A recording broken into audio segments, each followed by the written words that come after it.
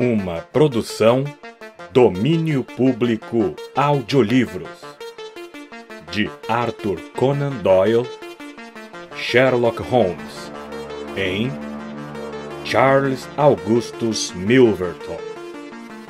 Narração Jaime Maciel. Antes de começar o vídeo, curta, compartilhe e caso ainda não seja inscrito no canal, clique no botão Inscreva-se. Quer ouvir mais histórias de Sherlock Holmes? Confira a nossa playlist. Aproveite o audiolivro. Já se passaram anos desde que os incidentes de que falo aconteceram. E mesmo assim, é com hesitação que me refiro a eles. Durante muito tempo, mesmo com a máxima discrição e reticência, teria sido impossível divulgar os fatos. Mas agora, a principal pessoa envolvida está fora do alcance da lei dos homens. E com algumas supressões, a história pode ser contada de uma maneira que não prejudique ninguém. Conta uma experiência absolutamente única na carreira do Sr. Sherlock Holmes e na minha própria.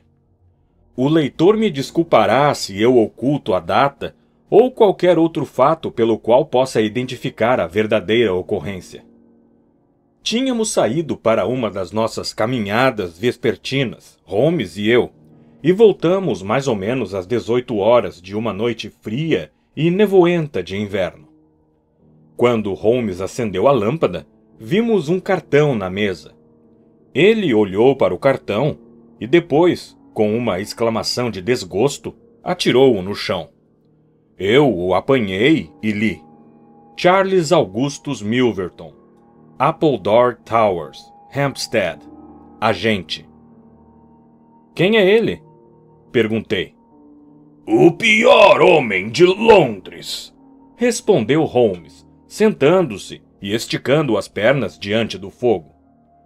Tem alguma coisa atrás do cartão? Virei-o. Estarei aí às 18h30. C-A-M. Li. Hum, está para chegar. Você sente um arrepio, uma sensação de aversão, Watson, quando está diante das serpentes do zoológico e vê as criaturas escorregadias, venenosas e deslizantes com seus olhos de morte e a expressão perversa e achatada? Bem, é esta a impressão que Milverton me dá. Tive de lidar com 50 assassinatos em minha carreira, mas nem o pior deles me inspirou tanta repulsa quanto a que eu tenho por este sujeito. E mesmo assim, não posso evitar de fazer negócios com ele. Na verdade, ele está aqui a convite meu. Mas quem é ele? Eu lhe direi, Watson. É o rei dos chantagistas. Que os céus protejam o homem e ainda mais a mulher cujo segredo e reputação caírem em poder de Milverton. Com um rosto sorridente e um coração de pedra, ele pressionará e pressionará até extrair tudo deles. O sujeito é um gênio à sua maneira e teria se destacado em algum ofício mais interessante. Seu método é o seguinte: ele deixa que se saiba que pode pagar quantias elevadas por cartas que comprometem pessoas ricas e de posição. Recebe estas coisas não só de criados e empregadas, mas frequentemente de rufiões elegantes que ganharam a confiança e a afeição de mulheres de boa fé. Ele não lida com mãos avarentas. Por acaso, sei que pagou 700 libras a um lacaio por um bilhete de duas linhas, cujo resultado foi a ruína de uma família nobre. Tudo que está no mercado vai para Milverton e há centenas de pessoas nessa cidade grande que empalidecem ao ouvir seu nome. ninguém sabe onde suas garras cairão, pois é muito rico e muito esperto para agir sem pensar. Ele é capaz de guardar sua carta durante anos, até jogá-la no momento em que estará valendo mais. Eu disse que era o pior homem de Londres e lhe perguntaria como alguém poderia comparar o valentão que, com o sangue quente, agride sua parceira com este homem que metodicamente e por prazer tortura a alma e atormenta os nervos para aumentar a sua fortuna já grande? Poucas vezes eu ouvira meu amigo falar com uma emoção tão intensa. Mas certamente, eu disse, o sujeito deve estar ao alcance da lei. Tecnicamente, sem dúvida, mas na prática não. O que lucraria uma mulher, por exemplo, em colocá-lo na prisão por alguns meses se a própria ruína dela virá logo depois? Suas vítimas não ousam reagir. Se algum dia chantagear uma pessoa inocente, aí poderemos pegá-lo. Mas ele é esperto como o próprio diabo. Não, não. Precisamos encontrar outros meios de lutar contra ele. E por que que ele está aqui? Porque uma cliente ilustre colocou seu caso penoso em minhas mãos. É Lady Eva Blackwell, a debutante mais bonita da última temporada. Vai se casar daqui a duas semanas com o Conde de Dovercourt. Esse demônio tem várias cartas imprudentes. Imprudentes, Watson. Nada pior que foram escritas a um jovem pobre do campo. Isso bastaria para romper o compromisso. Milverton mandará as cartas ao conde, a menos que uma grande soma lhe seja paga. Fui incumbido de me encontrar com ele e fazer o melhor acordo que puder. Naquele instante, houve um barulho e um estardalhaço na rua. Olhando para baixo, vi uma parelha e uma carruagem majestosas. As lanternas brilhantes iluminando as acetinadas ancas dos nobres cavalos castanhos.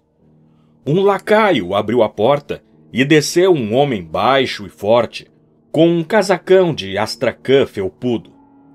Um minuto depois, ele estava em nossa sala. Charles Augustus Milverton era um homem de uns 50 anos, com uma cabeça grande e intelectual, um rosto redondo, gordo e liso, um perpétuo sorriso gélido e dois vivos olhos verdes que brilhavam por detrás dos óculos largos, com aro de ouro. Havia alguma coisa da benevolência do Sr. Pickwick em sua aparência, prejudicada apenas pela falsidade do sorriso fixo e pelo brilho cruel dos olhos vivos e penetrantes. Sua voz era macia e suave como sua fisionomia, enquanto avançava com a mão pequena e gorda estendida, murmurando seu pesar por não ter nos encontrado em sua visita anterior. Holmes ignorou a mão estendida e olhou para ele com um rosto de pedra. O sorriso de Milverton se ampliou ele encolheu os ombros, tirou o casacão e o colocou com a maior tranquilidade sobre as costas da cadeira. Então sentou-se. Este cavalheiro, ele disse, fazendo um sinal na minha direção. Ele é discreto? É direito? O Dr. Watson é meu amigo e parceiro. Muito bom, Sr. Holmes. Foi apenas no interesse de sua cliente que perguntei. O assunto é tão delicado. O Dr. Watson já está a par. Então podemos tratar do negócio. O senhor diz que está agindo em nome de Lady Eva. Ela lhe deu poderes para aceitar minhas condições? E quais são elas? Sete mil libras. E a alternativa? Meu caro senhor, é doloroso para mim falar nisso, mas se o dinheiro não for pago no dia 14, com certeza não haverá casamento no dia 18. Seu sorriso insuportável estava mais complacente do que nunca. Holmes pensou por um instante. O senhor me parece, disse por fim, considerar as coisas como certas. É claro que conheço o conteúdo dessas cartas. Minha cliente, com certeza, fará o que eu lhe aconselhar. Eu lhe direi para contar ao seu futuro marido a história toda e confiar em sua generosidade. Milverton deu uma risadinha. o senhor evidentemente não conhece o conde, disse. Pela expressão desconcertada no rosto de Holmes, eu podia ver que não. Qual é o mal que há nessas cartas? perguntou.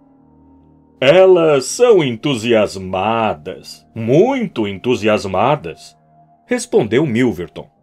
A dama era uma correspondente encantadora, mas asseguro-lhe que o conde de Dovencourt não as apreciaria. Mas, desde que pense o contrário, deixaremos como quer. É puramente uma questão de negócios. Se acha que é melhor para sua cliente que estas cartas sejam colocadas nas mãos do conde, então seria de fato uma tolice pagar uma soma de dinheiro tão grande para reavê-las. Levantou-se e pegou seu casaco de astracã. Holmes estava pálido de raiva e mortificação. E espere um pouco, disse. O senhor está indo muito rápido. Nós, com certeza, faremos tudo para evitar um escândalo num assunto tão delicado. Milverton voltou a se sentar em sua cadeira. Tinha certeza de que veria tudo por esse ângulo, disse satisfeito.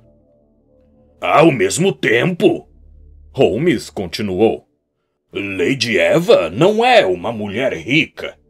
Asseguro-lhe que duas mil libras seriam um baque em suas reservas e que a soma que pede está inteiramente fora de suas possibilidades. Portanto, peço-lhe que modere sua exigência e que remova as cartas pelo preço que mencionei, que é, eu lhe garanto, o máximo que pode conseguir. O sorriso de Milverton alargou-se e seus olhos piscaram de um jeito engraçado. Sei que é verdade o que diz a respeito dos recursos da dama, disse. Mesmo assim, deve admitir que a ocasião do casamento dela é o momento adequado para seus amigos e parentes fazerem um pequeno esforço em seu benefício.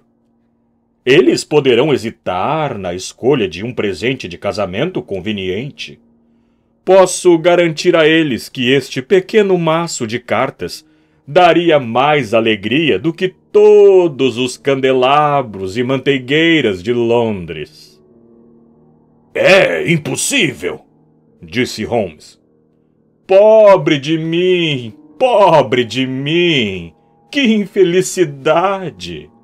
exclamou Milverton, pegando um grosso livro de bolso. Não posso deixar de pensar que as damas são imprudentes em não fazer um esforço. Olhe isso. Pegou um bilhetinho com um brasão no envelope. Isto pertence a. Bem, talvez não seja justo dizer o nome até amanhã de manhã. Mas aí estará nas mãos do marido dela.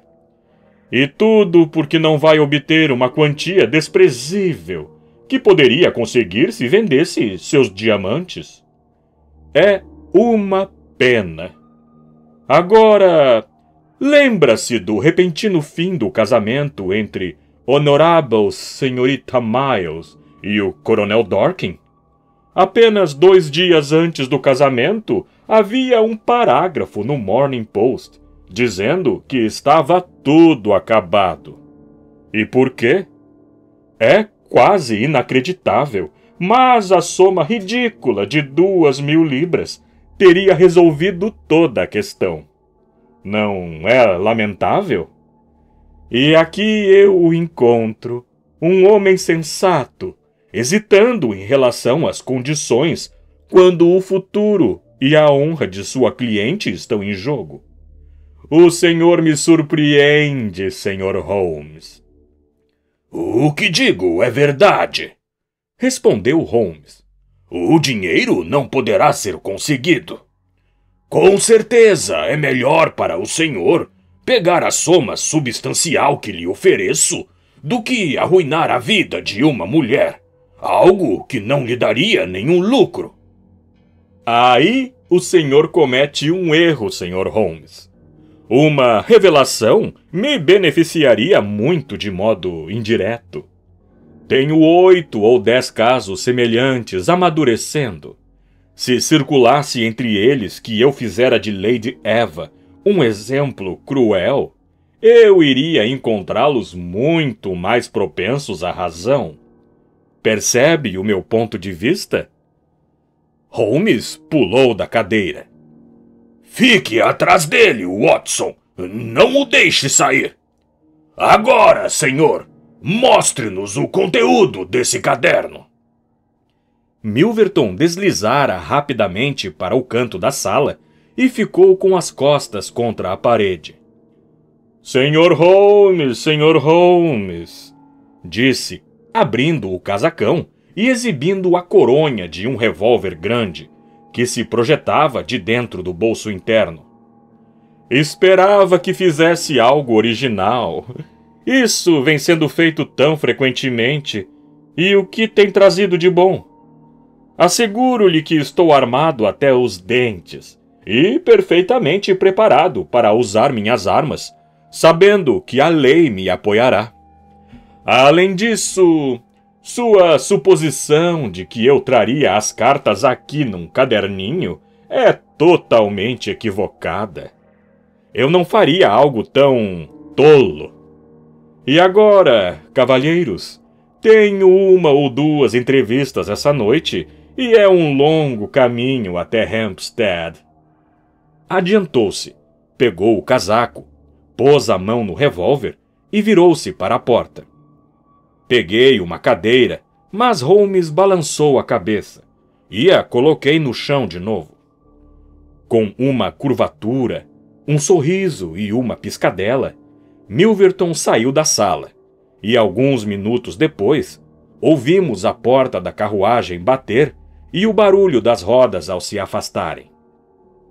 Holmes sentou-se imóvel diante do fogo, as mãos enfiadas nos bolsos da calça o queixo afundado no peito, os olhos fixos nas brasas incandescentes. Durante meia hora ficou silencioso e imóvel. Depois, com a atitude de um homem que tomou uma decisão, levantou-se e foi para o seu quarto. Pouco depois, um jovem operário, descontraído com um cavanhaque e uma bengala, acendeu seu cachimbo de barro no lampião antes de descer para a rua. Estarei de volta daqui a algum tempo, Watson, disse, e desapareceu na noite. Compreendi que começara sua campanha contra Charles Augustus Milverton, mas nem sonhava com o estranho rumo que aquela campanha iria tomar.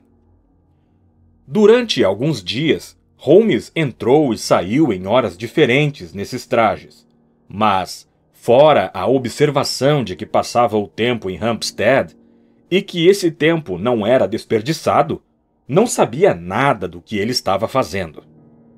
Mas, finalmente, numa noite tempestuosa, violenta, quando o vento assobiava e batia contra as janelas, voltou de sua última expedição e depois de tirar o disfarce, sentou-se diante do fogo e riu com vontade, do seu jeito íntimo e silencioso. Você me chamaria de um homem casadouro, Watson? É claro que não. Você se interessaria em saber que Estou noivo. Meu caro amigo, eu lhe dou os. Da empregada de Milverton. Meu Deus, Holmes! Eu queria informações, Watson. É, tem certeza que não foi longe demais? Era um passo extremamente necessário. Sou um bombeiro com um negócio em expansão, de nome Scott. Tenho passeado e conversado com ela todas as noites. Por Deus, essas conversas! Mas consegui tudo o que queria. Conheço a casa de Milverton como a palma de minha mão. Mas e a garota, Holmes? Ele encolheu os ombros. Não pude evitar isso, meu caro Watson. Deve-se jogar as cartas da melhor maneira possível quando um prêmio desses está na mesa. Entretanto, alegro-me em dizer que tenho um rival detestado, que com certeza me mataria assim que lhe virasse as costas. Que noite esplêndida temos! Gosta desse tempo? Serve ao meu objetivo, Watson. Pretendo assaltar a casa de Milverton esta noite. Fiquei sem ar e minha pele gelou ao ouvir essas palavras, murmuradas lentamente num tom de resolução. Assim como um raio na noite mostra num instante todos os detalhes de uma paisagem selvagem, eu vi na mesma hora todas as possíveis consequências de uma ação desse tipo. A detenção, a captura, a carreira honrada terminando num fracasso irreparável em desgraça. Meu amigo ficando à mercê do odioso Milverton. Pelo amor de Deus, Holmes, pense no que está fazendo! exclamei. Meu caro amigo, já fiz todas as análises. Nunca sou precipitado em meus atos, nem escolheria um caminho tão radical e, na verdade, tão perigoso se algum outro fosse possível. Vamos encarar o assunto justa e claramente. Suponho que vai admitir que esta ação seja moralmente justificável, embora tecnicamente criminosa. Assaltar a casa dele não é mais que pegar à força aquele caderninho. Ação que você estava preparado para me ajudar. Remoí aquilo em minha cabeça. Sim, eu disse. É moralmente justificável, já que o nosso objetivo é pegar apenas os objetos que estão sendo usados com um objetivo ilegal. Exato! Já que é moralmente justificável, tenho de considerar apenas a questão do risco pessoal. Com certeza, um cavalheiro não pode se preocupar muito com isso, quando uma dama precisa desesperadamente da ajuda dele. Certo? Estará numa posição duvidosa. Ora, isso faz parte do risco. Não há nenhuma outra maneira possível de recuperar essas cartas. A infeliz dama não tem o dinheiro e não há ninguém entre os seus parentes em quem possa confiar.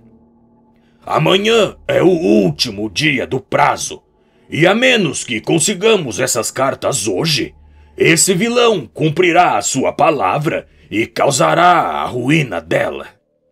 Portanto, devo abandonar minha cliente à sorte ou devo jogar esta última cartada? Aqui entre nós, Watson, é um duelo esportivo entre esse sujeito, Milverton e eu. Ele tem, como viu, todas as chances, mas meu amor próprio e minha reputação me obrigam a lutar até o fim. Bem, não gosto disso, mas suponho que deva ser assim. Eu disse. Quando começamos? Você não virá. Então você não irá? Eu disse. Dou-lhe minha palavra de honra, e nunca deixei de cumpri-la na vida, que irei até a delegacia e contarei tudo, a menos que me deixe participar dessa aventura com você. Não pode me ajudar? E como sabe disso? Não pode adivinhar o que vai acontecer? De qualquer modo, minha decisão está tomada. Outras pessoas, além de você, têm amor próprio e mesmo reputações. Holmes parecera irritado, mas seu senho se desanuviou e ele me deu um tapinha no ombro. Bem, bem, meu caro amigo, que seja assim. Dividimos este aposento durante muitos anos e seria divertido se terminássemos dividindo a mesma cela.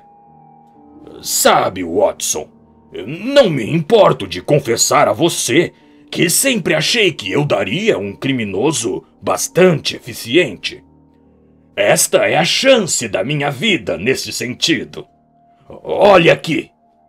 Tirou um pequeno estojo de couro de uma gaveta e, abrindo-o, exibiu vários instrumentos brilhantes. Este é um moderno conjunto de primeira classe para assaltos. Com um pé de cabra niquelado, cortador de vidro com ponta de diamante, chaves mestras e todos os aperfeiçoamentos que a marcha da civilização exige. Aqui também está a minha lanterna. Tudo está em ordem. Você tem um par de sapatos silenciosos? Tenho tênis com sola de borracha. Excelente! E uma máscara? Posso fazer duas de seda preta. Vejo que tem uma inclinação forte e natural para este tipo de coisa. Muito bem. Você faz as máscaras. Vamos fazer uma refeição fria antes de começar. Agora são 21 e 30. Às 23 horas iremos até Church Row. É uma caminhada de 15 minutos de lá até Appledore Towers. Estaremos trabalhando antes de meia-noite. Milverton tem o sono pesado e se recolhe às 22h30 em ponto. Com alguma sorte, estaremos de volta mais ou menos às duas horas com as cartas de Lady Eva em meu bolso. Holmes e eu vestimos nossos trajes a rigor para darmos a impressão de estar voltando do teatro. Na Oxford Street, pegamos um cabriolé e nos dirigimos a um endereço em Hampstead. Lá, pagamos a viagem e, com nossos pesados casacos abotoados, pois fazia um frio cortante e o vento parecia passar por dentro de nós, caminhamos pela beira da estrada. É um assunto que requer tratamento delicado, disse Holmes. Estes documentos estão num cofre no gabinete do sujeito. E esse gabinete é vizinho ao quarto dele. Por outro lado, como todos esses homens baixos e atarracados que prosperam, é um dorminhoco pletórico. Agatha, a minha noiva, diz que, entre os criados, há a piada de que é impossível acordar o patrão. Tem um secretário que é dedicado aos interesses dele e nunca sai do gabinete durante o dia. Por isso é que estamos indo à noite. Tem um monstro de cachorro que vagueia pelo jardim. Encontrei-me tarde com Agatha nas duas últimas noites e ela tranca a fera para que eu possa passar. Esta é a casa. O chefão está em seu próprio território. Pelo portão. Agora à direita, entre os louros. Devemos colocar nossas máscaras aqui, eu acho.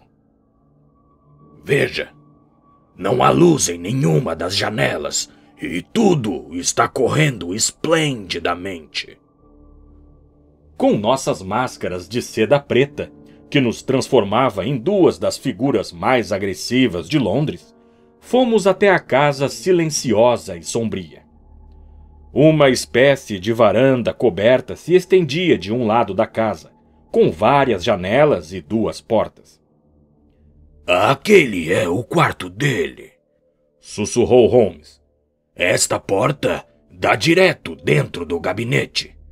É a melhor para nós, mas está trancada e aferrolhada, e faríamos barulho demais tentando entrar.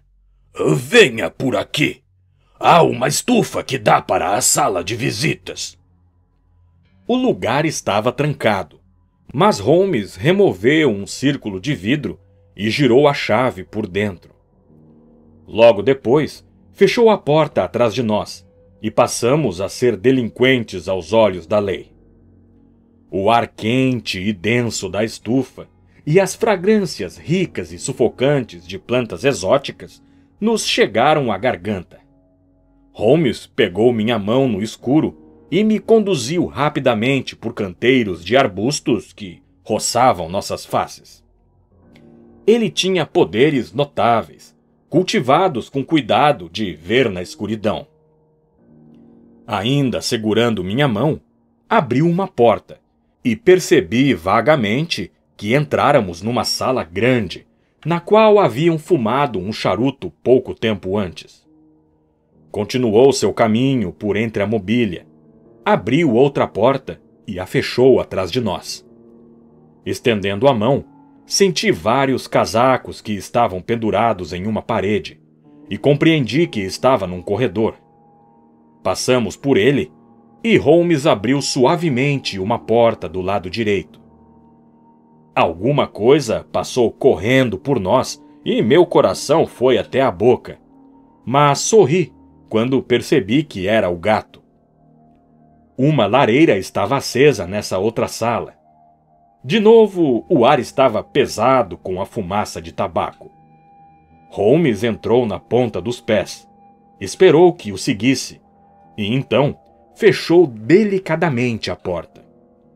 Estávamos no gabinete de Milverton, e um reposteiro ao fundo indicava a entrada para o quarto dele. Era um bom fogo, e a sala estava iluminada por ele. Perto da porta, vi o brilho de um interruptor elétrico, mas era desnecessário, mesmo se fosse seguro ligá-lo. De um lado da lareira havia uma cortina pesada que encobria a janela saliente que víamos de fora.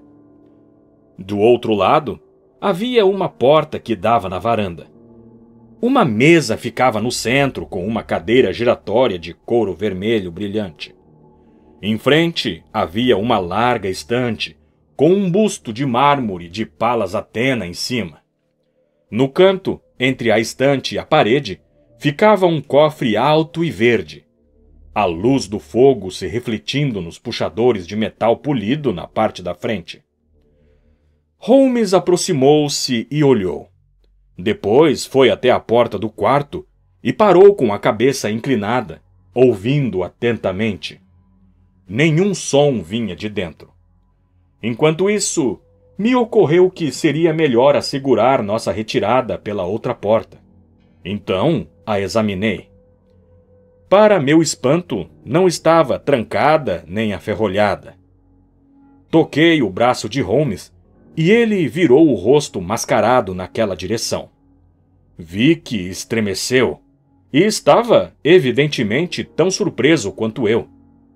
Não gosto disso, sussurrou, com os lábios bem perto de meu ouvido. Não gosto disso, sussurrou, com os lábios perto do meu ouvido. Não consigo entender. Eh, de qualquer modo, não temos tempo a perder. Posso fazer algo? Sim, fique perto da porta. Se ouvir alguém vindo, tranque-a por dentro e poderemos sair como entramos. Se vierem pelo outro caminho, podemos passar pela porta se nosso trabalho estiver terminado, ou nos escondermos atrás daquelas cortinas da janela. Entendeu? Balancei a cabeça e fiquei ao lado da porta. Meu medo inicial passara, e agora ficava excitado com um sabor mais picante do que experimentara quando éramos os defensores da lei em vez de seus desafiantes. o nobre objetivo de nossa missão, a consciência de que era altruísta e cavalheiresca, o caráter infame do nosso adversário, tudo ampliava o interesse esportivo da aventura. Longe de sentir culpa, alegrava-me e exultava com nossos perigos. Com admiração, via Holmes desenrolar seu estojo de instrumentos e escolher sua ferramenta com a calma e a meticulosidade científica de um cirurgião que faz uma operação delicada. Sabia que a abertura de cofres era um hobby particular seu e compreendia a satisfação que lhe dava enfrentar aquele monstro verde e dourado. O dragão que tinha em seu estômago a reputação de várias damas decentes. Arregaçando os punhos de sua casaca, colocara seu sobretudo numa cadeira, Holmes tirou duas furadeiras, um pé de cabra e várias chaves mestras. Fiquei na porta do centro, prestando atenção em cada uma das outras, pronto para qualquer emergência. Embora, na verdade, meus planos fossem um tanto vagos a respeito do que deveria fazer se fôssemos interrompidos. Por meia hora, Holmes trabalhou com energia concentrada, deixando uma ferramenta, pegando outra, manuseando-as com a força e a delicadeza de um mecânico treinado. Finalmente, ouvi um clique. A grande porta verde se abriu e dentro vi de relance vários maços de papéis, cada um selado, amarrado e identificado. Holmes tirou um, mas era difícil ler com o fogo bruxuleante e pegou sua pequena lanterna, pois seria muito perigoso, com Milverton no quarto ao lado, acender a lâmpada elétrica. De repente, o vi parar, escutar atentamente, e logo depois, ele fechou a porta do cofre, pegou o sobretudo, jogou as ferramentas dentro dos bolsos e correu para trás da cortina, mandando-me fazer o mesmo. Só quando me escondi foi que ouvi o que alarmara os seus sentidos aguçados. Havia um barulho em algum lugar dentro da casa. Uma porta bateu um pouco distante. Então, um murmúrio confuso, surdo, se transformou nas passadas pesadas e ritmadas que se aproximavam com rapidez. Estavam no corredor. Pararam diante da porta da sala.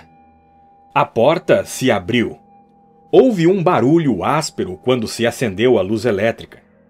A porta se fechou de novo e o bafo pungente de um charuto forte chegou às nossas narinas. Depois os passos continuaram para trás e para frente, para trás e para frente, a poucos metros de nós. Por fim, Ouvimos o estalido de uma cadeira e os passos cessaram. Então, uma chave estalou na fechadura e ouvi o farfalhar de papéis. Até aqui não ousara olhar para fora, mas agora afastei delicadamente a divisão das cortinas à minha frente e olhei pela abertura. Pela pressão do ombro de Holmes contra o meu, sabia que também estava observando. Bem à nossa frente, e quase ao nosso alcance, estavam as costas largas de Milverton. Era evidente que calculáramos mal os movimentos dele, que nunca estivera em seu quarto, e sim sentado em alguma sala para fumar ou jogar bilhar, na ala mais afastada da casa, cujas janelas não tínhamos visto. Sua cabeça grande e grisalha, com a parte calva brilhante, era visível bem à nossa frente. Ele estava recostado na cadeira de couro vermelho, as pernas esticadas, um charuto comprido, preto, pendurado no canto da boca. Vestia um casaco semi-militar, cor de sangue, com o colarinho de veludo preto. Segurava um documento legal extenso que lia com displicência enquanto soprava círculos de fumaça de tabaco. Sua pose tranquila e sua atitude confortável não indicavam que sairia logo. Senti a mão de Holmes segurar a minha e me dar um aperto confortador, como se dissesse que a situação estava sob controle e que ele permanecia calmo. Não tinha certeza se ele vira o que parecia óbvio de minha posição, isto é, que a porta do cofre não estava bem fechada e que Milverton poderia a qualquer momento ver isso. Por conta própria, decidi que, se estivesse certo, pela fixação do seu olhar, de que ele havia percebido, eu pularia imediatamente para fora, jogaria meu sobretudo sobre a cabeça dele, o amarraria e deixaria o resto com Holmes. Mas Milverton não olhou. Estava indolentemente concentrado nos papéis em sua mão. Páginas e páginas foram viradas enquanto ele seguia a argumentação do advogado. Pelo menos, pensei, quando acabar de ler o documento e de fumar o charuto, irá para o quarto. Mas antes que tivesse chegado ao final dos dois, houve um fato extraordinário que mudou nossos pensamentos para outro canal. Várias vezes eu observara que Milverton olhava para o relógio, e uma vez chegou a levantar-se e sentar-se de novo, com um gesto de impaciência. Mas a ideia de que ele pudesse ter um encontro numa hora tão estranha nunca me ocorreu, até que um som fraco chegou aos meus ouvidos, vindo da varanda. Milverton largou seus papéis e sentou-se rígido na cadeira. O som se repetiu, e então houve uma batida delicada na porta. Milverton levantou-se e abriu. Ora, disse secamente, está quase meia hora atrasada.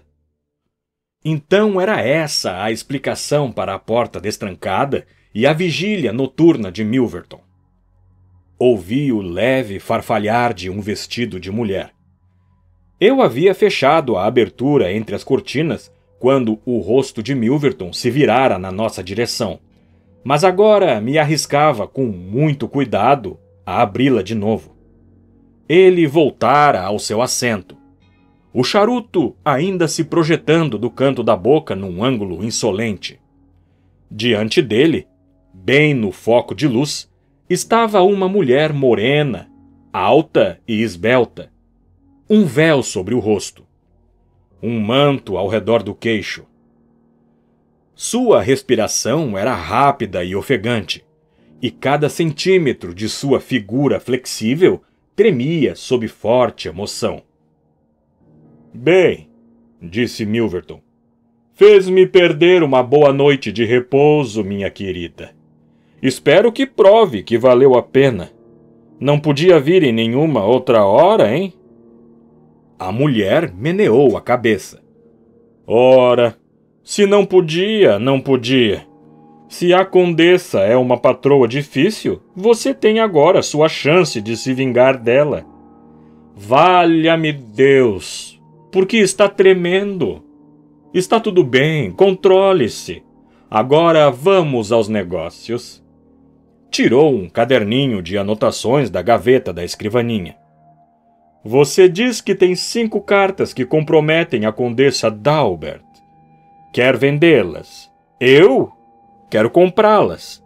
Até aqui tudo bem. Só falta acertar o preço. Gostaria de examinar as cartas, é claro, se elas forem realmente bons exemplares. Meu Deus! É você? A mulher, sem uma palavra, levantara o véu e deixara cair o manto do queixo. Era um rosto bem definido, moreno e bonito, que encarava Milverton. Um rosto com um nariz longo e curvo, sobrancelhas cerradas e escuras, olhos cintilantes e uma boca firme, com lábios finos e um sorriso perigoso. Sou eu, ela disse. A mulher cuja vida você arruinou. Milverton sorriu, mas o medo vibrou em sua voz. Você era tão obstinada, disse. Por, que me levou a tais extremos? Asseguro-lhe que não machucaria uma mosca por vontade própria. Mas todo homem tem seu negócio, e o que eu podia fazer? Fiz um preço acessível às suas posses. Você não pagou? Então mandou as cartas ao meu marido. E ele, o homem mais nobre que já existiu, um homem com quem nunca mereci casar, partiu seu coração valoroso e morreu. Lembra-se de que noite passada, quando vim por aquela porta, eu lhe pedi e implorei sua misericórdia, e você riu na minha cara como está tentando rir agora. Só que seu coração covarde não impede que seus lábios fiquem tremendo. Sim, nunca pensou em me ver aqui de novo, mas foi aquela noite que me ensinou como poderia encontrar-me com você cara a cara e sozinhos. Bem, Charles Milverton, o que tem a dizer? Não pense que pode me intimidar, disse ele, erguendo-se. Tenho apenas que levantar a voz e poderia chamar meus criados, e você seria presa. Mas eh, darei um desconto pela sua raiva natural. Saia imediatamente por onde veio e não direi mais nada. A mulher continuou parada, com a mão enfiada no decote e o mesmo sorriso sinistro em seus lábios delicados. Não arruinará mais vidas como arruinou a minha. Não torturará mais corações como torturou o meu. Livrarei o mundo de uma coisa venenosa. Tome isso, seu cachorro! Isso! Isso! Isso! Tirara um pequeno revólver brilhante e esvaziou cartucho após cartucho no corpo de Milverton. O cano a menos de 60 centímetros da camisa dele. Ele se curvou e depois caiu sobre a mesa, tossindo furiosamente e se debatendo em meio aos papéis. Depois, ficou de pé, recebeu outro tiro e rolou no chão. Você me pegou! exclamou e ficou imóvel. A mulher olhou para ele com atenção e enfiou o salto do sapato no rosto virado para cima. Olhou de novo, mas não havia nenhum som ou movimento. Ouvi um barulho áspero.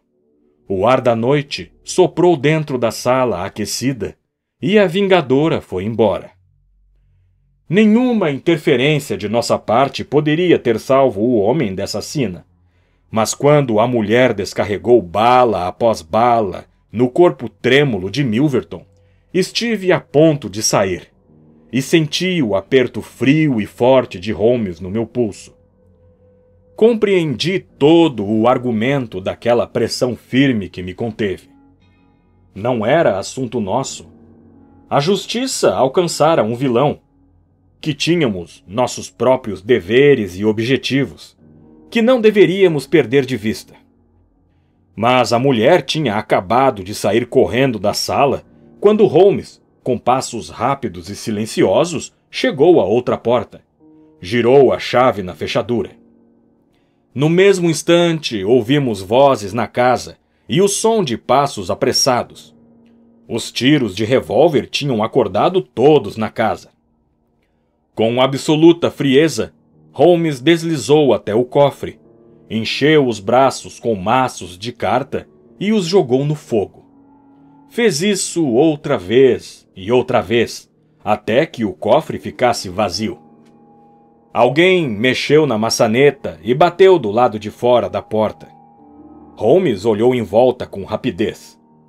A carta que havia sido a mensageira da morte para Milverton estava na mesa, salpicada com o sangue dele. Holmes atirou-a entre os papéis em chamas. Depois, tirou a chave da porta externa, passou comigo por ela e a trancou por fora. Por aqui, Watson! disse. Podemos escalar o muro do jardim nessa direção. Eu não podia acreditar que um alarme se espalhasse tão rapidamente. Olhando para trás, a enorme casa parecia uma única luz. A porta da frente estava aberta e pessoas corriam pelo caminho.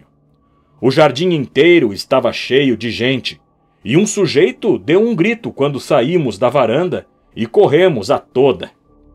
Holmes parecia conhecer perfeitamente o terreno e avançou depressa por entre uma plantação de arbustos. Eu, colado nele, e nosso perseguidor mais próximo, bem atrás de nós.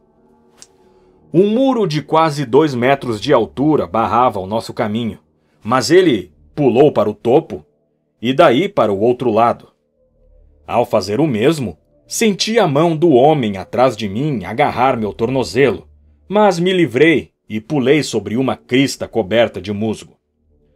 Caí de cara entre alguns arbustos, mas Holmes me pôs de pé num instante, e juntos corremos pela grande extensão do campo de Hampstead. Tínhamos corrido quase três quilômetros, eu suponho, até que Holmes finalmente parou e ficou escutando atentamente. Atrás de nós, tudo era silêncio absoluto. Despistáramos nossos perseguidores e estávamos seguros. Tínhamos tomado nosso café da manhã e estávamos fumando nosso cachimbo matutino no dia seguinte à incrível experiência que relatei, quando o Sr. Lestrade da Scotland Yard, muito solene, foi conduzido até nossa modesta sala de estar. Bom dia, Sr. Holmes, disse. Bom dia. Posso lhe perguntar se está muito ocupado agora? Não tão ocupado que não possa escutá-lo. Pensei que talvez, se não tiver nada especial no momento, pudesse nos ajudar num caso extraordinário ocorrido a noite passada em Hampstead. Pobre de mim, disse Holmes. O que foi? Um assassinato. O assassinato mais dramático e incrível. Sei o quanto se interessa por essas coisas e consideraria um grande favor se fosse a Appledore Towers e nos ajudasse com o seu conselho. Não é um crime comum. Estávamos de olho nesse Sr. Milverton já há algum tempo, e cá entre nós, era meio vilão. Sabe-se que tinha em seu poder papéis que usava para fazer chantagens. Todos esses papéis foram queimados pelos assassinos. Nenhum objeto de valor foi levado, e é provável que os criminosos fossem homens de boa posição, cujo único objetivo seria o de evitar um escândalo público. Criminosos? perguntou Holmes. Plural? Sim, eram dois. Quase foram apanhados em flagrante. Temos as pegadas deles, a descrição deles. Aposto dez contra um como os encontraremos. O primeiro era um sujeito muito veloz, mas o segundo foi pego pelo ajudante de jardineiro e só conseguiu fugir após uma luta. Era um homem de estatura média e forte, maxilar quadrado, pescoço grosso, bigode e uma máscara sobre os olhos. É muito vago, disse Sherlock Holmes. Ora, poderia ser a descrição de Watson. É verdade, disse o inspetor confuso. Poderia ser a descrição de Watson. Bem, receio não poder ajudá-lo, Lestrade, disse Holmes. O fato é que conhecia esse sujeito, o Milverton, e o considerava um dos homens mais perigosos de Londres. E acho que em certos crimes a lei não pode intervir. E, portanto, até certo ponto, justificam uma vingança particular. Não, não, não, não adianta discutir. Já me decidi. Minhas simpatias estão mais com os criminosos do que com a vítima, e não pegarei este caso. Holmes não me dissera uma só palavra sobre a tragédia que testemunhamos, mas notei, a manhã inteira, que estava muito pensativo, e me deu a impressão, pelos seus olhos vagos e o jeito abstraído, de um homem que se esforça para relembrar algo. Estávamos no meio do nosso almoço quando ele se levantou de repente. Ah, por Deus, Watson! Descobri! Exclamou. Ah, pegue seu chapéu! Ah, venha comigo! Correu o mais depressa que pôde pela Baker Street e ao longo da Oxford Street, até quase chegarmos ao Regent Circus. Ali, do lado esquerdo, há uma vitrine cheia de retratos das celebridades e beldades do dia.